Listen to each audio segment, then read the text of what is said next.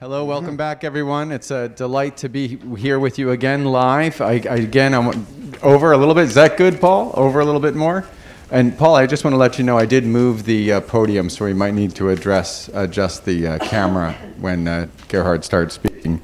These are all the little details we didn't have to worry about two years ago, right? Um, uh, I, want, I wanted to just quickly take a moment to thank you for being here. I can't tell you how just incredibly enriching it is to be doing this in front of a live audience. And for all of you who are out there, we know we'll see you uh, soon enough. And it's such a great thing. The silver lining, of course, of COVID is that we're able to now reach you uh, in your location. So, you know, we will continue this practice of being able to offer the best of both worlds from here going forward. So that's something great that we learned uh, during the COVID period. Um, I also just want to let you know, folks, that our mission um, for serving the public of North Carolina and making sure that this university, the borders of this university are contiguous with the borders of the state of North Carolina, uh, is to make sure that we can continue to have this incredibly vibrant outreach. Um, we know that you folks uh, pay a not insignificant tuition to come to these programs, and we're very, very thankful for your commitment to that. And I really appreciate that you mark out time in your budget and your day to come and do this with us. It's really quite, uh, in, quite inspiring. We also want you to know that, of course, one of the ways we can reach people who do not have these means and also to make sure that we can reach as many different types of people throughout the state is through our work with our K-12 programs and our community college programs. And none of those programs have tuitions attached to them at all. We do all of that service uh, th through our uh, outreach and through, of course, raising money and development uh, one aspect of our program that unfortunately has been drastically affected uh, is, of course, the revenue for our tickets. We understand we can't be putting on as many programs and we can't charge as much for a, a, a virtual event as we do a live event. So uh, about 18 to 20 percent of our revenue for our entire organization that we use then to go and support our K-12 teacher programs and our community college programs. About 18 to 20 percent comes from our ticket sales, and we have had just a well a devastating hit on that revenue in the past year and a half. I, um, I'm, I'm here asking you folks to consider giving to Carolina Public Humanities not today if you don't want to, but to take this with you inside your packets uh, or to go online. If you're online, we have uh, Paul be giving some information uh, to help us continue this mission. Um, we are not in a critical state, but it has been a big hit for us, and we appreciate uh, if you would consider helping us out so when we get back up and running, we can have as many programs and generate as much revenue and be in the same position we were in. Um, thank you for considering. We have different options of to donating to our general fund, donating to K-12 education, donating to the Lloyd Kramer Faculty Fund, just recently established in honor of our director, Lloyd Kramer, uh, and, and other options for you available online for giving. All, tax, all donations of any size are completely, completely appreciated, and of course, all are tax deductible. So I want to thank you to, for considering giving to Carolina Public Humanities um, so that we can get up and running and be having this vibrant program that's been running for over 40 years for the next 40 years as well. So thank you. And one more time, we want to welcome Dr. Gerhard Weinberg.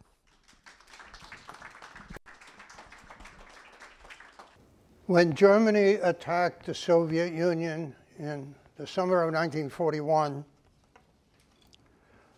I should mention again that it had allies uh, to repay the Germans for rescuing Italy's disastrous campaign in Greece earlier that year.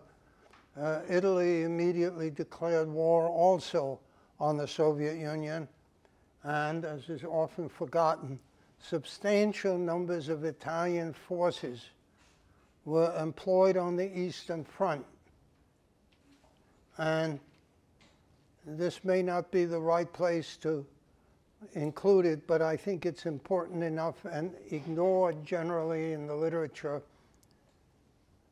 The heavy casualties that Italian forces suffered in their participation in the fighting on the Eastern Front. Uh, we can't go into the details, but they suffered very heavy casualties, had a tremendous effect inside Italy.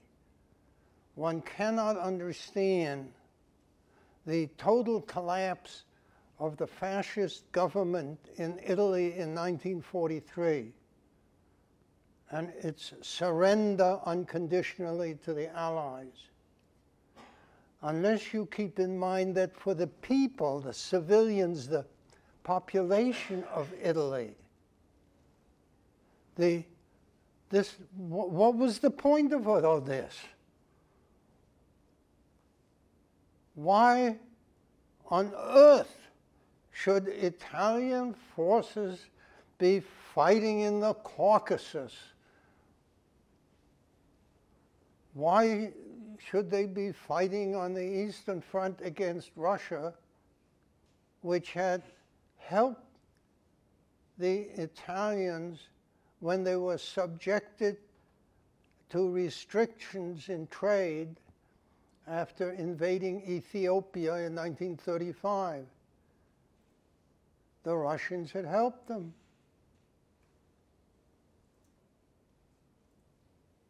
The Russians had helped them in the First World War.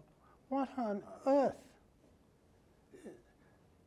You could, if you were in Italy, argue that there are places in the Mediterranean, like Malta, and in North Africa to expand the Italian colonial empire. Hmm?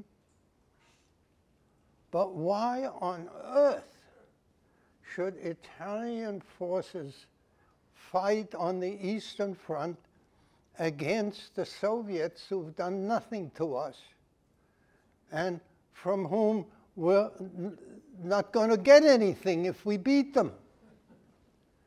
In other words, uh, I, I mention this at this point in time, even though it doesn't fit that well, uh, is because the internal collapse of the fascist movement in Italy cannot be understood unless one keeps in mind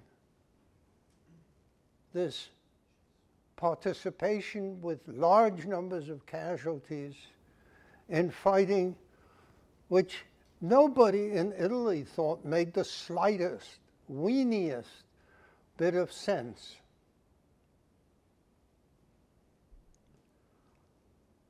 Romania and Finland also joined Germany, and that was because they hoped to regain what they had lost just recently in territory to the Soviet Union, and maybe, hopefully, in both cases, get some additional territory. The people in Romania and in Finland could understand that. Whether they uh, liked it or didn't like it, it from there made some sense for their government to do this.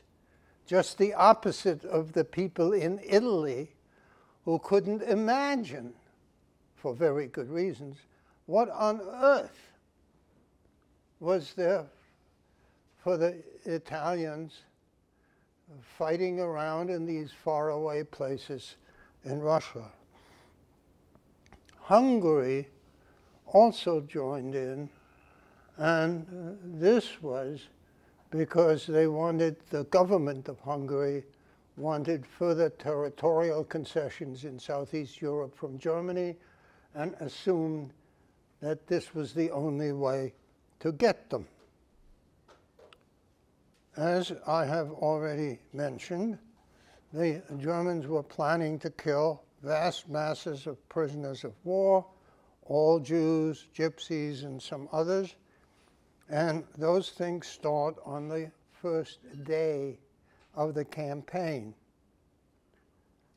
At the beginning, as I mentioned, the Germans advance rapidly, and uh, Halder and Hitler think that the Soviet Union would collapse and Germany would win very quickly. But this was the result, I would suggest, of total intelligence failure on the one hand and assumptions about the Soviet Union on the other. These were inferior people who were being directed and controlled by hopeless incompetence. And I mentioned the incident about the tanks. As the Germans discovered, the Russians had tanks which were bigger and better and stronger than anything the German army had.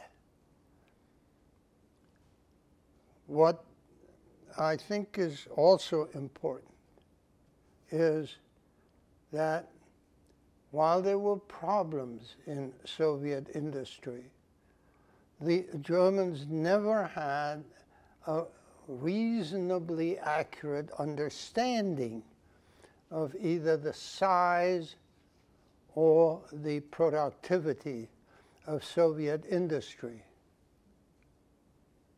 And as I mentioned, the behavior of the Germans very quickly rallied the people to the regime in a way that was quite different from what had happened in the First World War.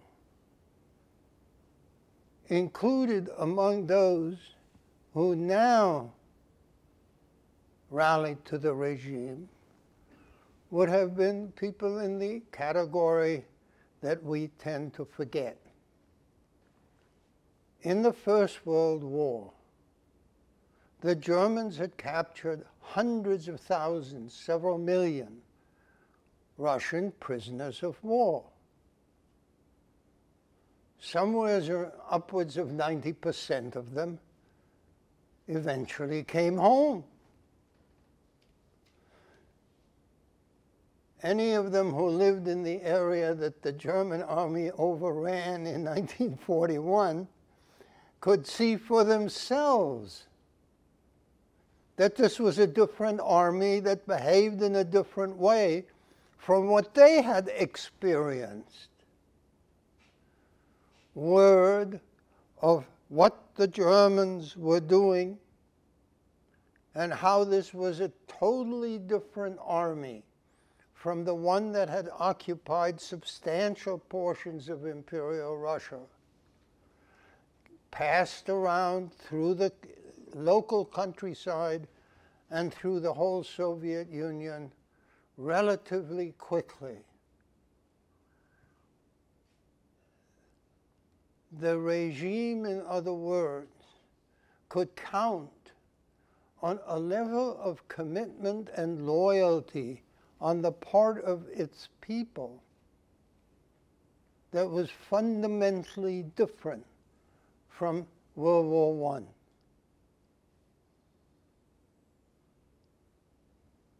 Try to think of this for a moment of some family somewheres in the middle of this big country.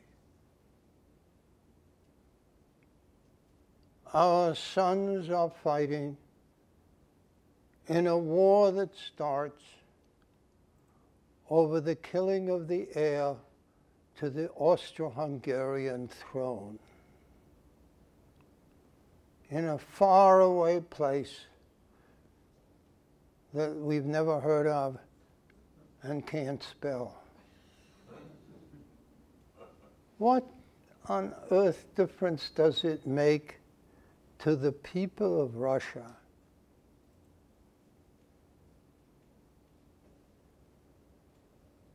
that there would be eventually a collapse of support for the war effort in World War I Russia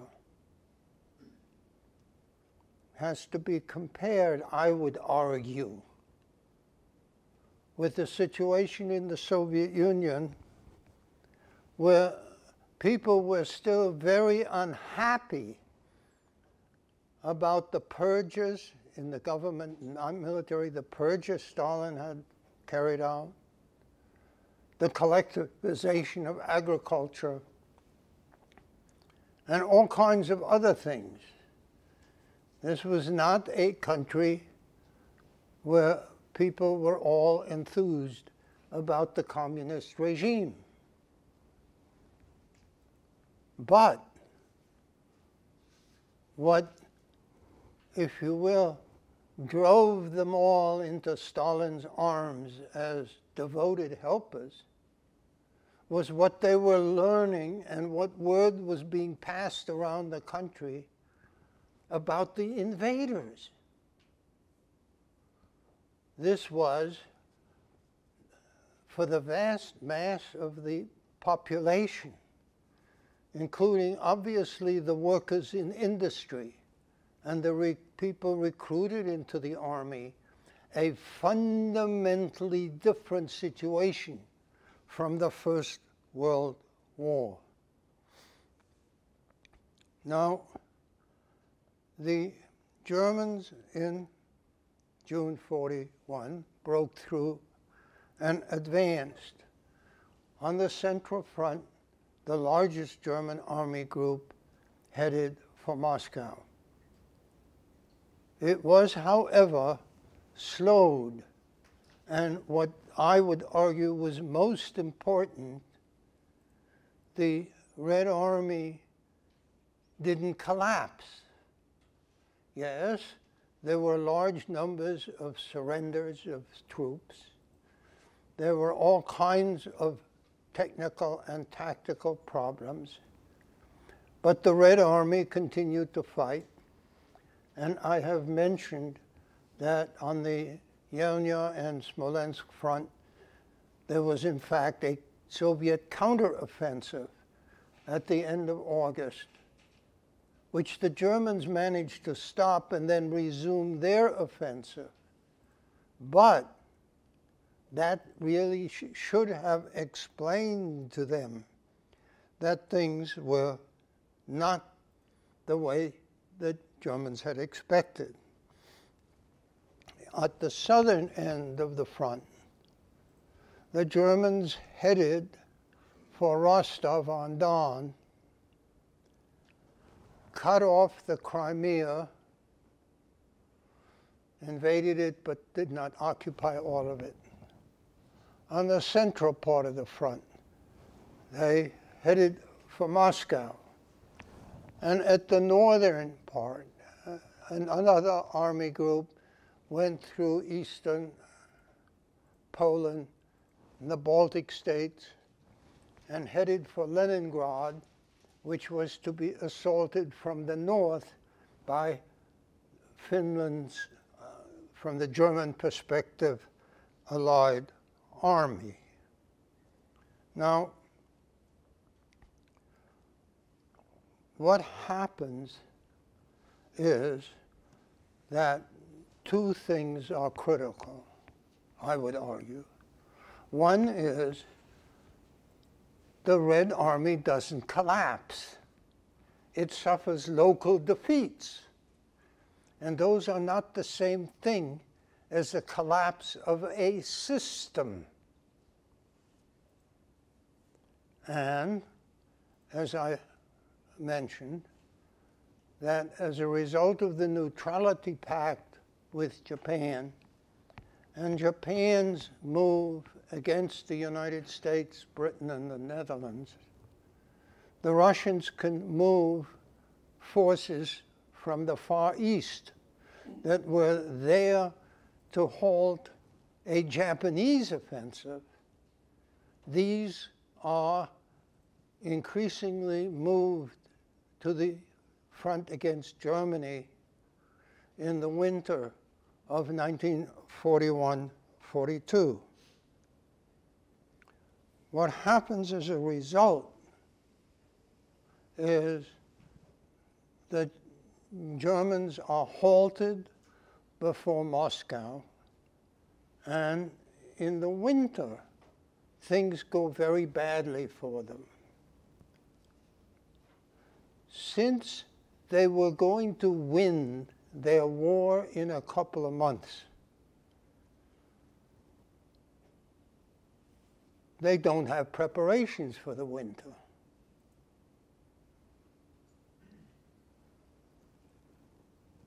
It really might not have come so much as a surprise as it did. This may be unreasonable of them, but Russia has a winter every year. and although you would never recognize this from reading the memoirs of German generals, it got to, about, to be about equally cold for the Soviet army as for the German. And Stalin did not control the snow. It had a tendency to fall wherever it wanted to.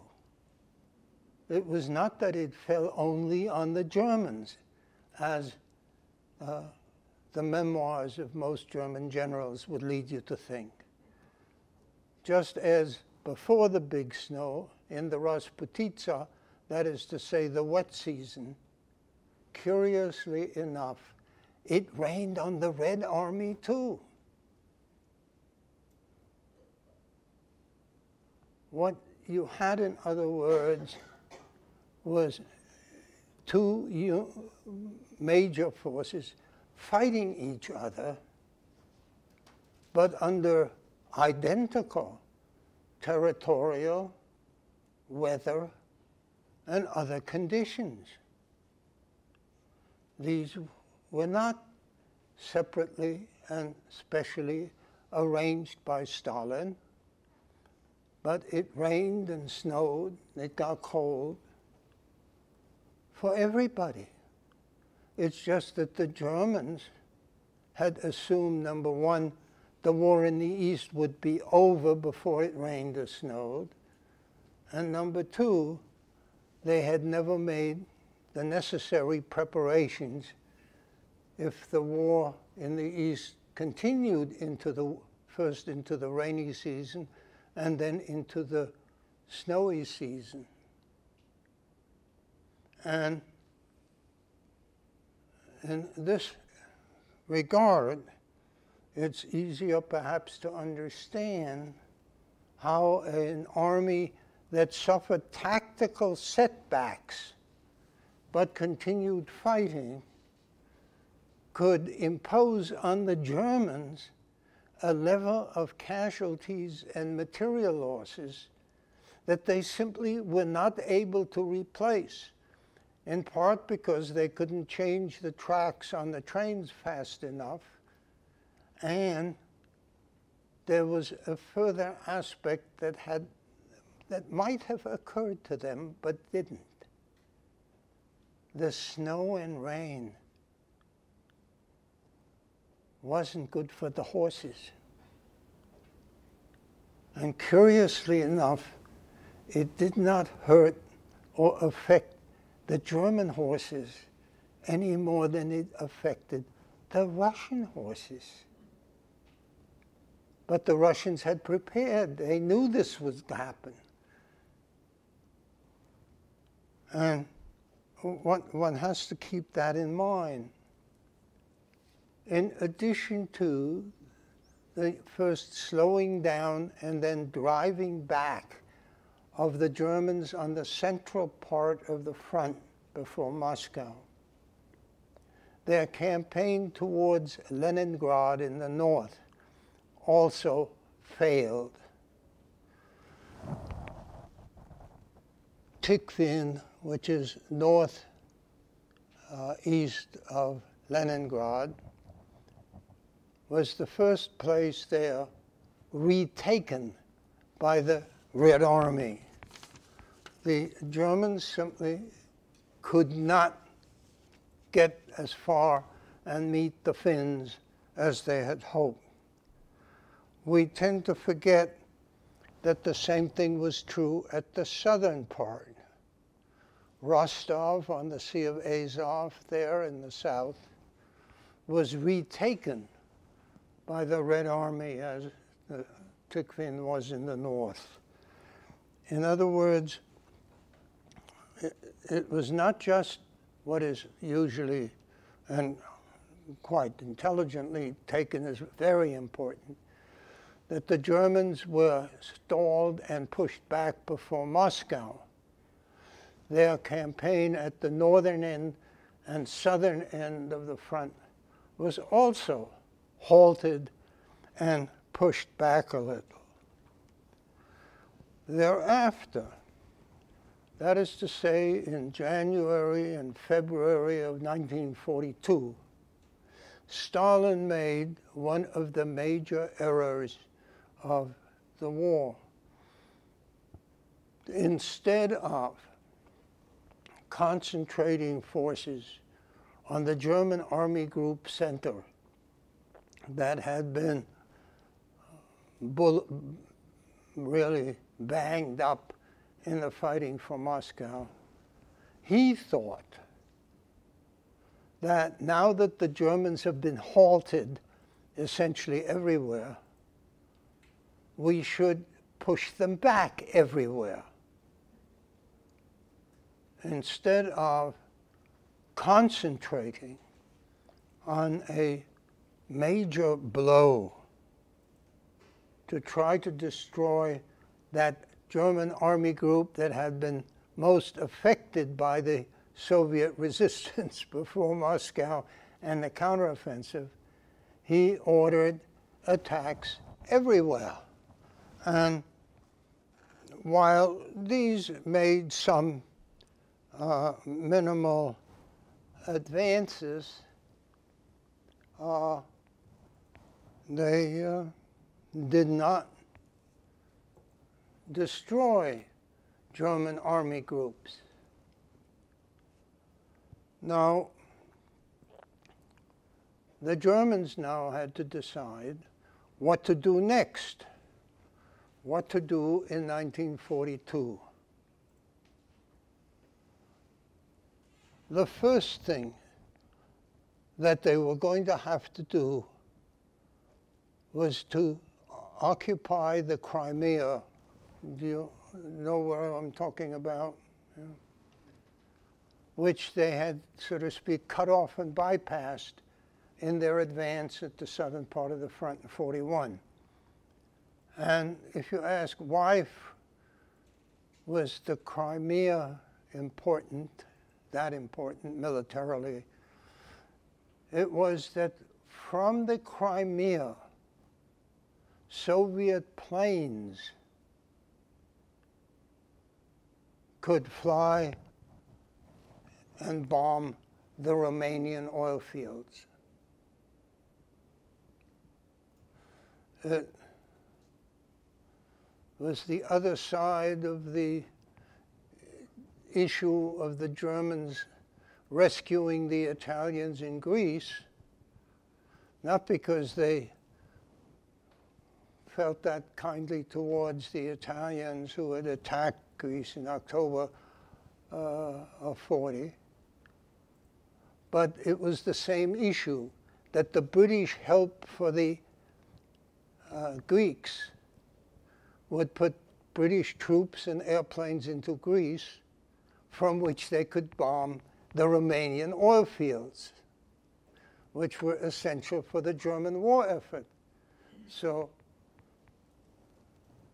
just as then Germany had helped the Italians to make sure that there were no British planes flying from Greece to bomb Romanian oil fields. So in 1942, the first thing the Germans were going to do and did do was conquer the Crimea to keep Russian planes from bombing the Romanian oil fields. The other thing thereafter was to advance east towards Stalingrad and on the way also head further south into the Caucasus. There is, if you will, an important distinction between two targets in that direction. One is Elbrus, the highest mountain in Europe. The Germans did get to it. One of their units did climb it, and they were able to hoist the German flag on the top of Mount Elbrus. Symbolically, you could argue that that was of some importance. But the real major target in that direction were the oil fields.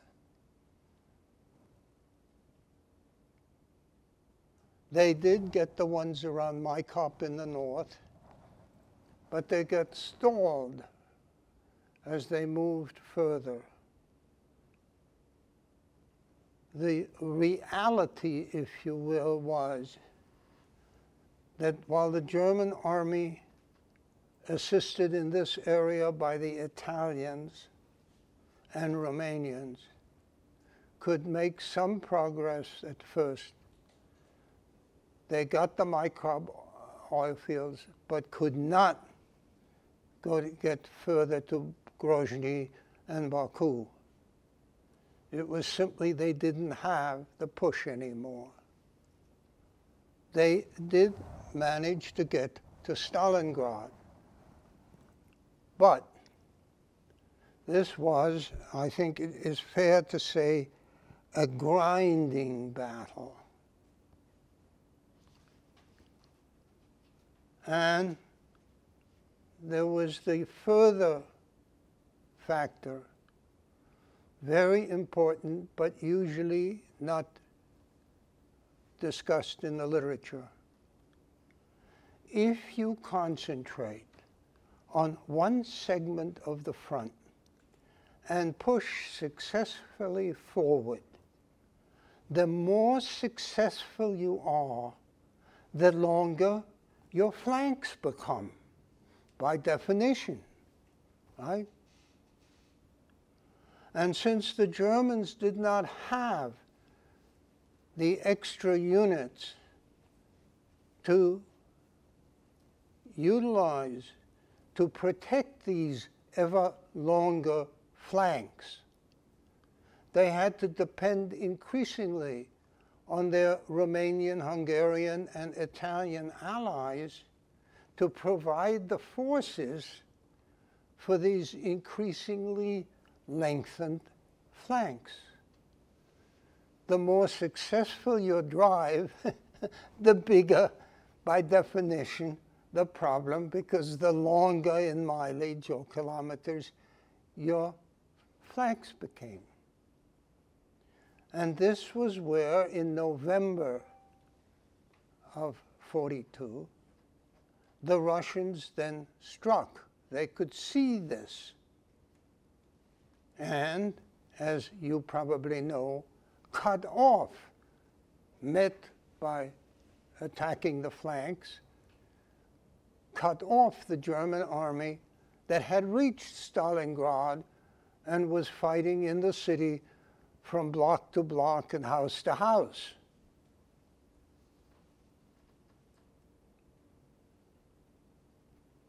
Thereafter, yes, the Germans launched some counteroffensives which didn't go anywhere and tried their best to supply the army cut off in Stalingrad from the air. And here they were misled by an earlier experience in the winter of 41 42. A, a, German, small German force had been cut off in the northern part of the front, and they had been able to supply it from the air until they could break through to it. But nothing like this was possible with the huge German army in Stalingrad. They could fight and did fight. Surrounded and by December, they fight there all through January into February, but their supplies are giving out their soldiers are, in many instances, simply dying from exhaustion. They can't get anywhere. Before I turn to the Caucasus part of the German operation, I do want to call to your attention an aspect of this that has important implications, in my opinion, which none of you is required to share, on American strategy in 1944 in France.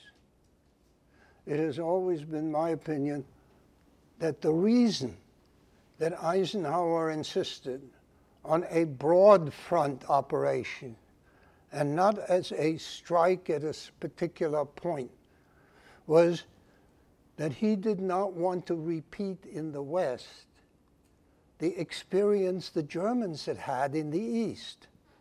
That is to say, the more successful your single strike is, the longer its flanks become. Hmm? And when you're fighting a well organized and equipped enemy, what that means is the risk of the flanks being cut and your great successful advance being trapped. You will find in the literature, especially British literature, much criticism of Eisenhower for his decision for the broad front rather than the single thrust.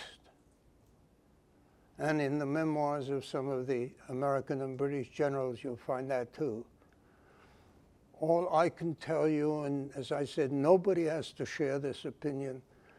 I have long always been convinced that Eisenhower was convinced by the German experience at Stalingrad that a single thrust from a portion of a long front is not very wise if you're fighting an army that knows and is controlled by people who know what they're doing, because then you get your advance cut off. In any case, rightly or wrongly, the Germans kept the fight there but in the end, and Stalingrad had to surrender. The drive into the Caucasus got into the mountains, and that meant it did take the Maykop oil fields. But they were stalled. They simply could not push the Russians back far enough to take the big oil fields there at Grozny and Baku. And after the uh, encirclement of the German forces in Stalingrad, the Soviets hoped to drive to Rostov and cut off the German army force in the Caucasus. But they were not successful in doing this, so they in effect pushed them back.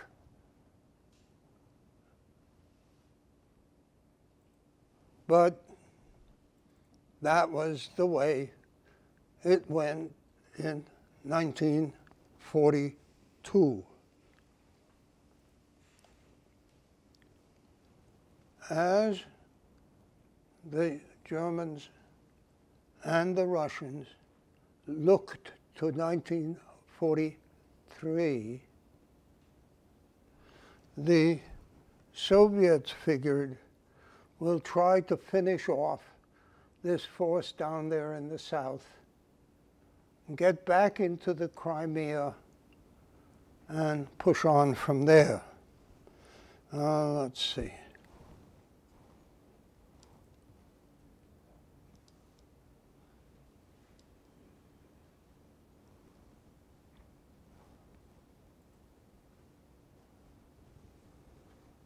At the end of this uh, southern operation, the Soviets decided to make attacks on the Germans in various places, but the Germans decided that from their point of view, losing at Stalingrad and losing in the Caucasus was bad enough.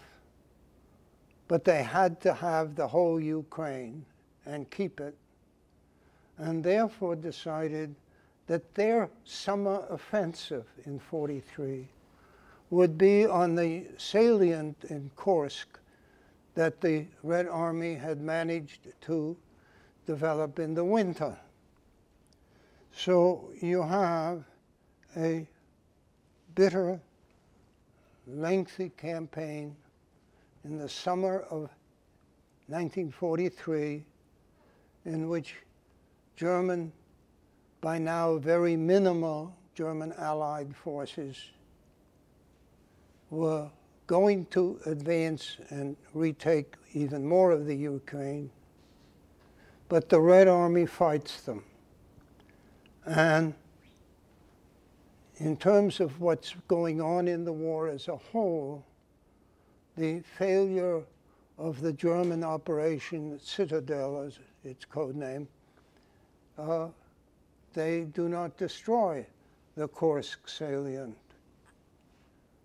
One of the contributing factors in this is the shift in Stalin's attitude towards his military commanders. Just as the reverse of Hitler trusting his generals less and less, Stalin trusts them more and more. In 1941, he had been of the opinion that the Germans would drive most for the Ukraine because that's what they want the most.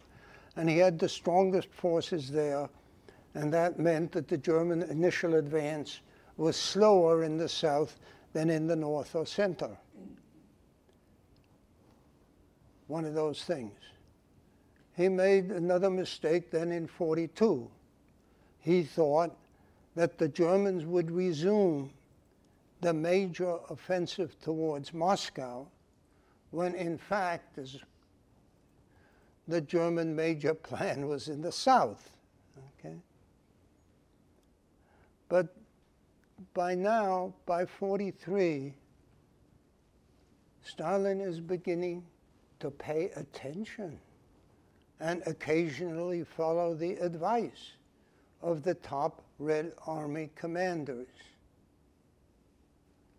And when they insist that this time the Germans are going to try to destroy our Kursk salient,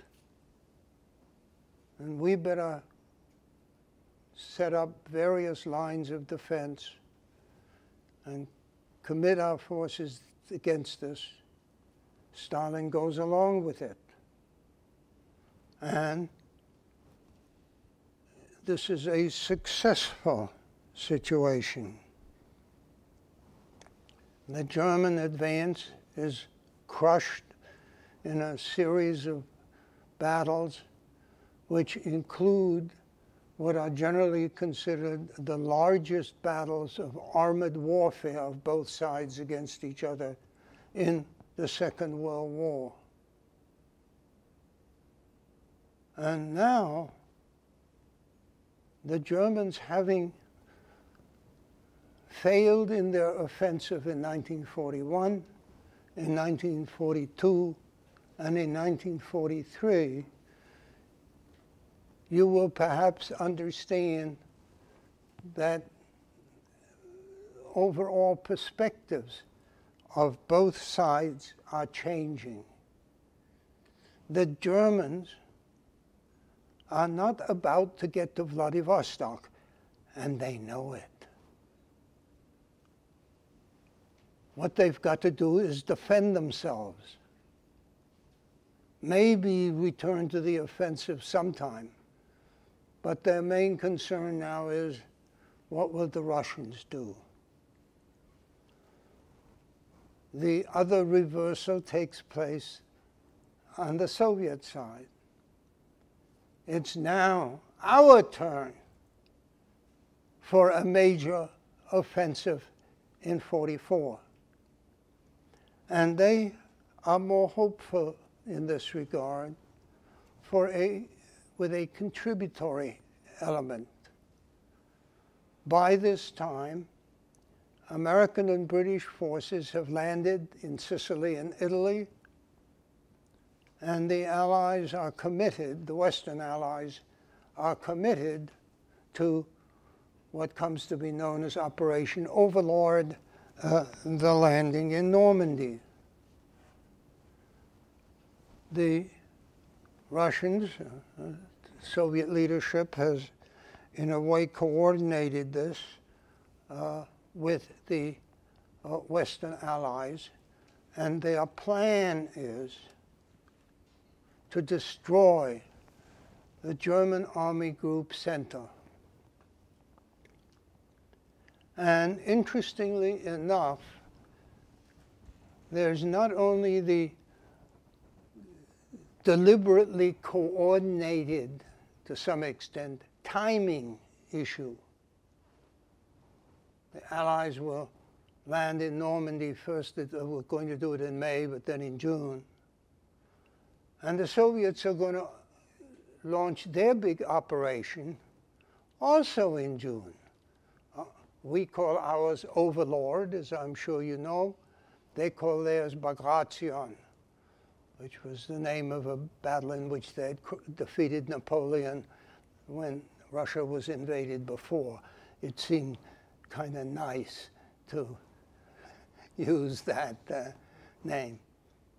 And what was not planned, but I find very interesting, is that both the Westerners and the Soviet Union decide that for such a major operation, we have to fool the Germans so that they'll have their troops in, to a considerable extent in the wrong place. As you probably know, in the planning for Normandy, there is Fortitude, the cover operation, in which the Germans are to be persuaded the main landing will be in the Calais area. And uh, the Germans put the 15th Army into the Calais area uh, to uh, halt this Allied invasion, which of course never comes because, as I'm sure you know, uh, we land in Normandy instead. The Russians do something very similar. They do tricks much like those that the Western powers used to persuade the Germans that we were, that the Russians were headed to destroy the German army group North Ukraine when in reality they were going to destroy Army Group Center. And in uh, June, not long after the Western Allies land in Normandy, not the Calais area, the Russians strike at Army Group Center and not North Ukraine and surround, break through their front north and south of the army group and destroy. It is Germany's largest uh, battle defeat of the Second World War. The army group is destroyed and the Russians now can advance. Now, let's see.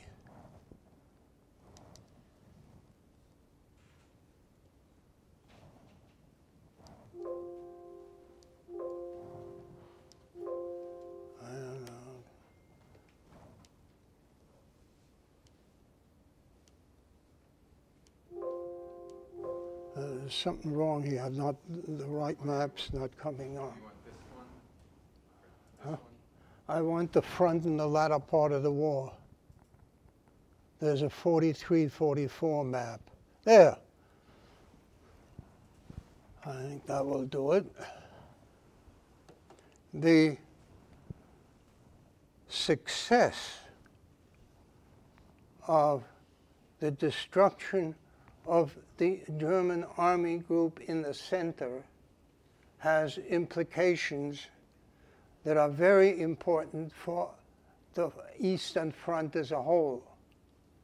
It makes it possible for the Soviets to effect to advance both north and south because after this whole army group, over half a million is destroyed, the Germans have to move forces from the northern and southern end of the Eastern Front to repair the middle. And so that means that at both ends, they, the Red Army can keep pushing forward. And to entertain the Soviet publication, they take some 20,000 of the German soldiers captured in Operation Bagration on the Central Front and march them through downtown Moscow. You may have seen pictures of this uh, big parade. Uh, this was a way of showing the Russian people by newsreels and newspaper pictures and so on. This is the only way the Germans can get to Moscow. If they're prisoners, we will march them and they get to see a little bit of the city while they're marching through it. Uh, uh, more uh, important in the long run for the Soviets is, of course, they're pushing back the Germans at both ends of the front and into the Balkans. And under those circumstances, uh, what is particularly important from the, everybody's point of view is that the Red Army pushes into Romania. And that means that Germany's major supply of natural oil, as opposed to synthetic oil, is seized by the Soviet side of the front. They also uh, occupy Bulgaria and they are fighting in Hungary. There, the Germans make their last counteroffensive because there is a section of Hungary uh, where there are oil wells. But these efforts of the Germans are crushed uh, relatively quickly by the Red Army. Under the circumstances, as the geography will show you on the map, the Red Army moves across Poland after Operation Bagration. The Germans counterattack and there is fighting in and around Warsaw, in and around the Baltic states, but at no place is the German army able really to halt as opposed to delay the Soviet advance. So that by October of 44, as the Western Allies are breaking out of their foothold in Normandy and pushing the Germans out of France, and Belgium, the Red Army is moving into the easternmost portions of Germany, East Prussia and Silesia. Hitler had established a fortress concept under which German forces isolated by Red Army advances would simply stay in place and fight and fight until they were all killed, not because the places themselves were of such great importance, But this was the only way to halt the Red Army, wear it down, and keep it from advancing more rapidly into the interior of German held forces. And the main city of Königsberg in East Prussia, now Kaliningrad uh, in the Russian Federation, uh, is one rather dramatic example where literally for months German forces are holding. Breslau, the big city in Silesia, now Wrocław in Poland, is another example of this uh, fortress concept on a very large scale. But in the end, this merely means more military and civilian casualties, with the Red Army continuing to advance and fighting in Berlin until Hitler and his recently married wife commit suicide and his designated successor, uh, Admiral Dönitz, uh, agrees to the unconditional surrender uh, of Germany to the Allies. By this time, the Soviet Union has suffered 27 million casualties, military and civilian. And of Germany's 5,300,000 dead soldiers, 4,300,000 were killed on the Eastern Front. And please note that that figure alone is more than twice the number of German soldiers killed in the whole First World War. It's worth remembering. The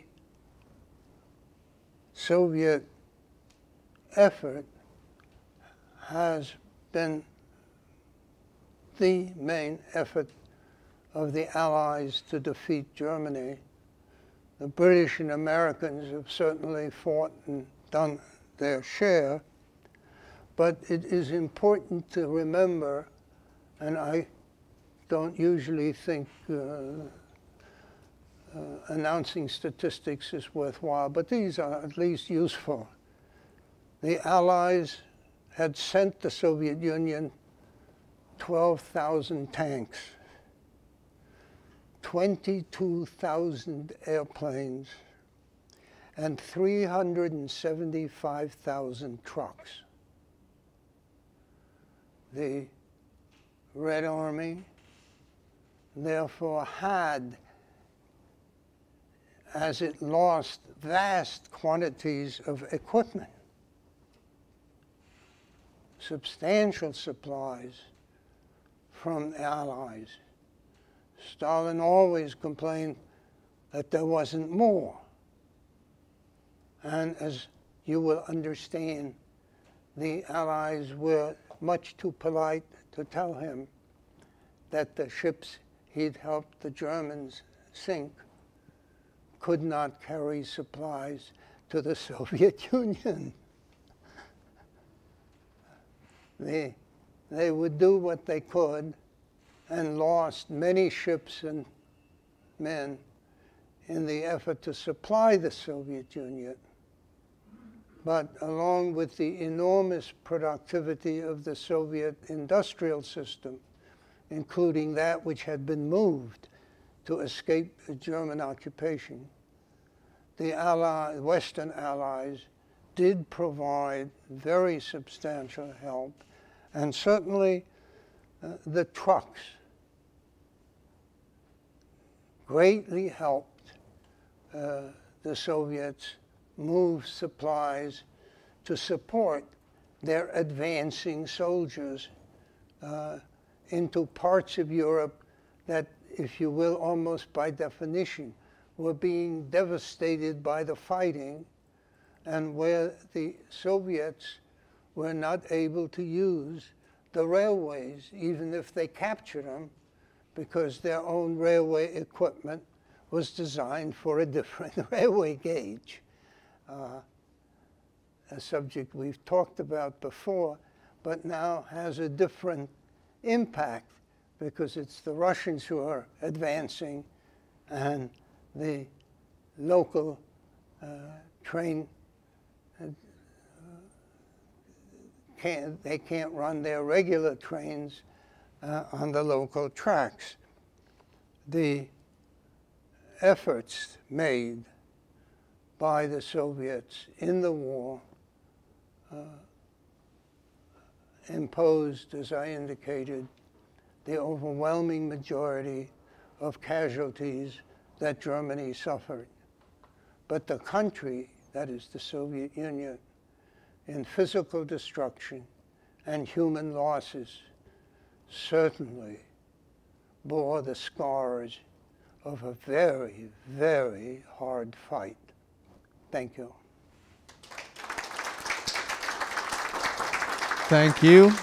Thank you, Gerhard, for that wonderful uh, lecture. Now it's your on turn. Gri- what's that? Very nice lecture on grim subjects. Do we have questions from the audience in the room? Yes, we'll start here. Joel. Uh, quick question. Um, the, the Soviet Union had a very dictatorial government type, and Stalin was, an, was absolutely convinced not to surrender. Do you think the level of casualties and destruction visited on the USSR could have been survived by a democratic type of Russia? Could, could the Soviet Union have survived if it had a more democratic government, or was the dictatorial? I'm sta- sorry, over again. Yeah, I can't over here. make out what you're saying. Could, could the, the Soviet Union, we know Stalin was a dictator and he held on grimly. Yes. Could, would the Soviet Union have been able to hold on so uh, firmly and, and not, not surrender if it had been a democratic government? Or was it necessary for it to be a totalitarian dictatorship in order to have that sort of control? That, Uh, It doesn't seem to me that it was in any way necessary to have a dictatorship. Given the procedures that the Germans followed in World War II as compared to World War I, they provided the population with an incentive that they did not have in World War I. I think one has to see this in terms of how the vast majority of people in the country see a challenge. Let me make a suggestion which I hope will not offend anyone. Americans were not really that enthused about fighting Germans and Japanese. But remember, Pearl Harbor was something that Americans reacted to. Those so and so's attacked us on a Sunday. We're going to give it to them. And if the Germans want a war with us, well, okay, we'll oblige them. Uh, one has to see, in other words, what I would consider a difference in the public and whatever kind of government the Soviet Union had at the time, really, in my judgment, this is a matter of opinion, and uh, didn't make that much difference. You have this kind of an invader coming in, slaughtering everybody, whether you have one kind of government or another, you're going to fight them. And uh, uh, the difference, in other words, was not that the Romanov leadership was in some measure particularly incompetent, uh, and therefore the Central Powers could defeat the Russians and drive them out of the war. Uh, the important point here was for the ordinary person living in some Russian city, what is this all about? Quite different from the situation which the Germans created in World War II. The conversion, as I mentioned, of Stalin from a feared and to some extent even hated dictator to the savior of his people was something only the Germans, through their policies and procedures, could pull off. Thank you for that, Gerhard. You have a question here? Could you comment on the tank battle at Kursk? Could you comment on the tank battle at Kursk? Make some comments on it. Just a little bit more information on the tank battle at Kursk. Well, what you had there was the largest engagement of tanks on both sides and heavy losses on both sides. But the Germans had more difficulty replacing the tanks they lost than the Russians. and an argument can be made that by this time, we're talking of summer of 43, Allied bombing of German factories was not reducing German tank production, but keeping the Germans from increasing it even more than they already were doing. And furthermore, you must keep in mind that the German tanks are in most cases very, of very recent production. And one of the things which is striking, to me at least, is the number of German tanks sent into the fighting in the Operation Citadel who break down on the way and have other problems. These are new constructions. And a proportion of them, quite literally, breaks down, not because of what the Russians do, but because there are problems in the manufacturing process. So uh, one has to see this, I think, as a very significant part uh, of the fighting on the Eastern Front. And there, except for a tiny operation in Hungary, the Germans never thereafter are able to mount a significant offensive operation. We have a question here with Hoyt, and I remind our folks uh, online that we do have an opportunity to ask questions online, but let's get a question from Hoyt. Uh, it seems like I've heard that Eisenhower held back in the West to allow Stalin to come in on the East into Berlin, to take Berlin. That?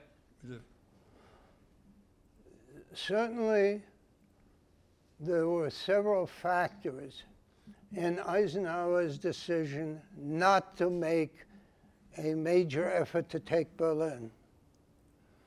The Russians were obviously already getting closer, and there was still always, in my opinion at least, the concern of what would happen to a single thrust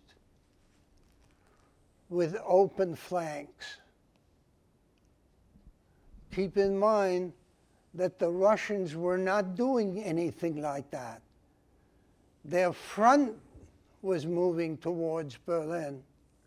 And in fact, Stalin, if you will call it that, decided to have two of his field marshals make a race for it. One with an army group north, center and north of Berlin, and another army group to the south. So that under those circumstances, there wasn't a thing the Germans could do. From Eisenhower's perspective, and the American and British leadership in general, what at this point was really important was a totally different political objective. And that was to get to the Baltic Sea so that the Red Army would not occupy Denmark. And an American army, this is another thing that Eisenhower does, is turned over to Montgomery's British Army Group so that they can advance to Rostock and Wismar on the southern shore of the Baltic Sea and make sure that the Red Army does not occupy Denmark.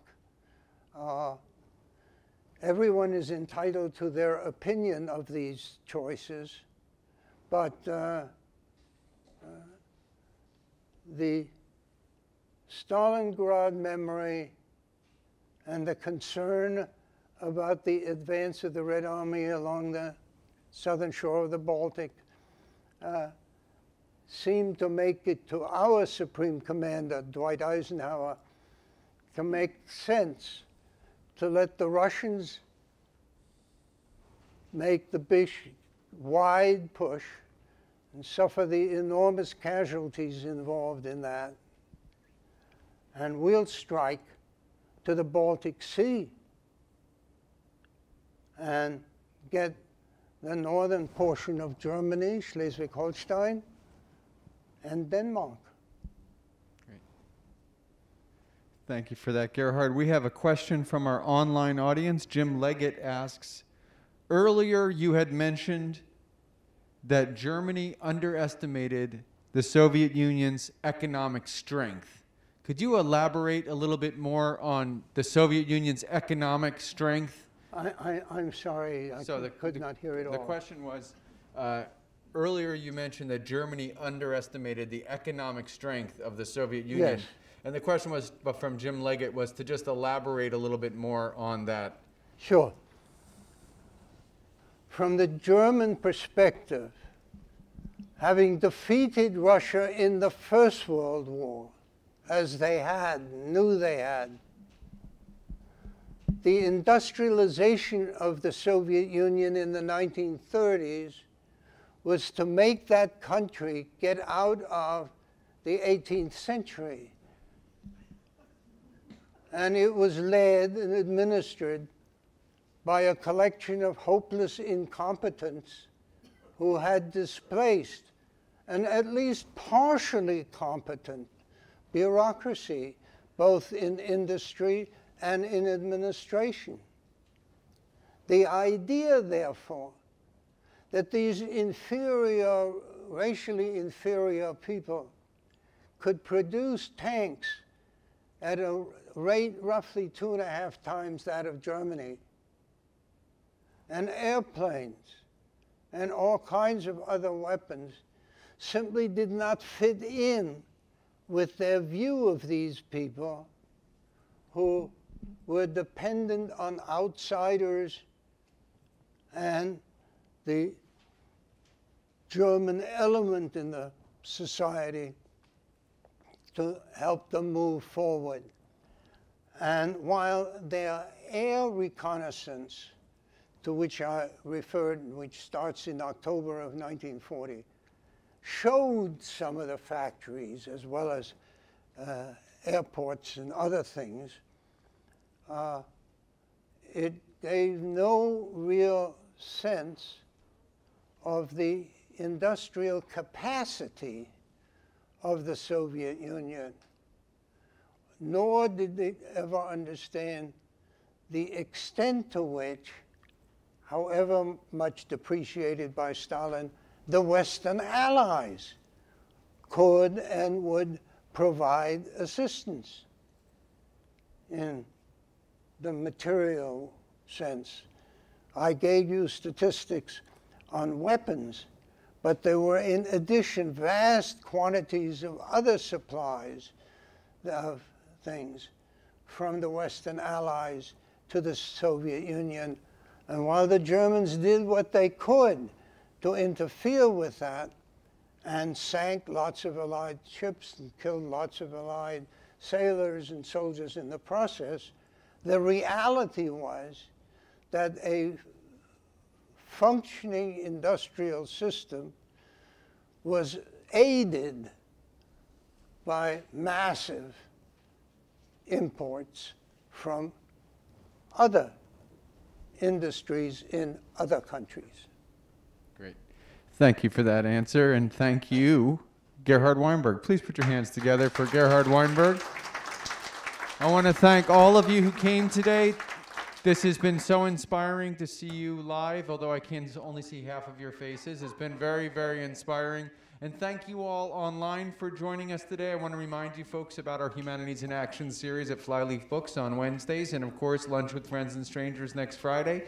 Go to our website, check out humanities.unc.edu, and we have a whole host of programs. We hope to see you at one soon. Have a wonderful afternoon, everybody. Enjoy this beautiful fall day. Take care. Thank you.